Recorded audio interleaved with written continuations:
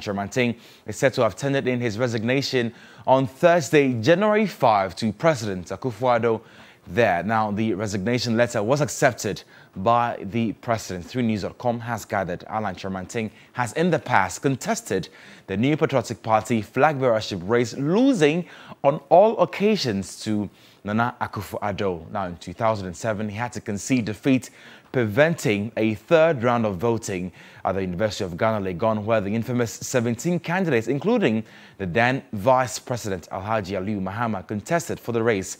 Kyerematen's fortunes have since dwindled as his votes keep reducing at each attempt, failing to contest at all when nominations closed in 2020. Now, the former Ghana ambassador to the U.S. is, however, tipped to return to the race and uh, begin his campaign for the primaries later this year as the ruling party is set to nominate a new candidate for the 2024 polls as President Akufo-Addo finishes his mandatory eight-year term.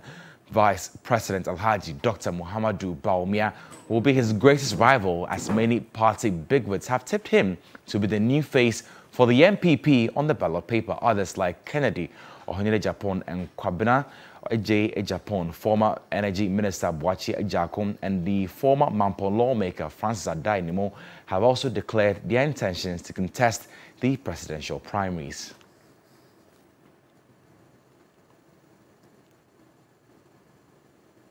Meanwhile, a section of the public have been reacting to developments from the NPP's stronghold in the Ashanti region.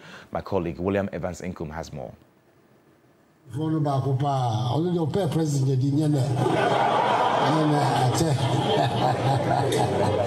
Minister of Trade and Industry In 2007, 2010, and 2014, a man whose political life has largely centered on trade and investment has stepped down.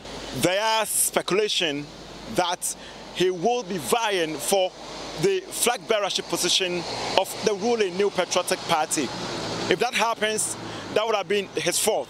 But this time around, he wouldn't be contesting against somebody who he has contested with for the three consecutive times, His Excellency Nana Addo Dankwa Akufo-Addo, because he has served his term as a president and is almost going out. But Alan's call to lead the party has been very strong in the Ashanti region even though there are competition from the Vice President, His Excellency Dr. Mahamudu Bawumia, to those who vote for the NPP, What do they make of Alan's resignation? I think, uh, to me, it's long overdue. We were expecting this resignation long ago.